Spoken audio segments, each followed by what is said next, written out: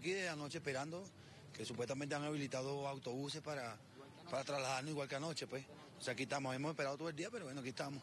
¿Y qué, qué, qué pasaron acá en la noche?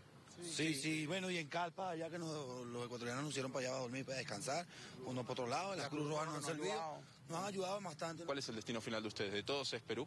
Es Perú, ajá, sí, tenemos familiares en Perú que nos han conseguido puentes de empleo, ya que en nuestro país no hay empleo, no hay comida, no hay medicina y tenemos a nuestros hijos allá pasando hambre. En verdad es así.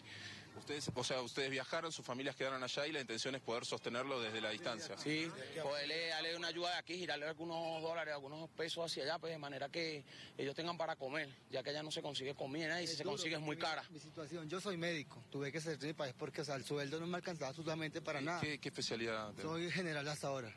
¿Vos venís para Argentina? Voy para Argentina, para Bariloche. ¿Y cómo, cómo vas a hacer para llegar a Argentina? Y pues, bueno, primero, bueno, mochi- como sea, como sea la voluntad de Dios, como sea, como sea el- la, la llegada, eso voy a hacer.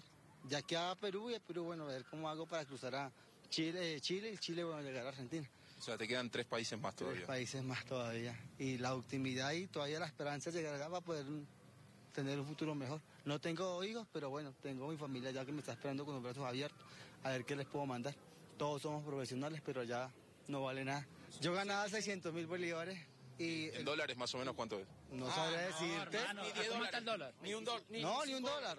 600 mil bolos y el condominio del apartamento me costaba 1.200.000. Tenía que parir la otra mitad. Y la comida y las otras cosas, la, la necesidad que tenía. O sea que con tu sueldo pagabas la mitad del La mitad alquiler. del condominio, no, mi apartamento, pero obviamente lo- la administración y todo eso.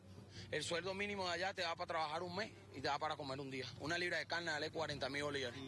Eh, una harina vale 8 mil bolívares.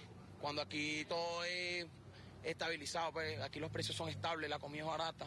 Y uno puede por lo menos comer con 2 dólares, 2 dólares y medio tú puedes comer. Allá con 2 dólares y medio no comes nada. Demasiado triste ver a uno, la familia de uno llorando y uno viniéndose nada más con la esperanza. Porque uno, nada más, uno, todos los que estamos aquí, no sé si me apoyan, que todos tenemos aquí nada más una esperanza de llevarle tan siquiera que coma, ¿sabes por qué más o menos me vine? El sustento, que tan siquiera uno tenga una arepa y decirle a la hija de uno, aquí hay mantequilla y queso, hija, porque así me criaron a mí. Y uno no puede ahorita, pues ya lo último le estaba dando era arepa y café a mi hija, porque no había para la mantequilla. Pero es que usted tiene que darse cuenta, el presidente no sufre, no sufre lo que nosotros sufrimos.